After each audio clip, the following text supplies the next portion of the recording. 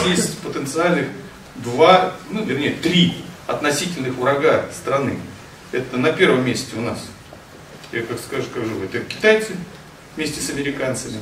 И второе, группа большая, это Европа. Это надо запоминать. Мы всю жизнь были для них врагами. Никогда мы друзьями с ними не будем. Запомните это раз и навсегда.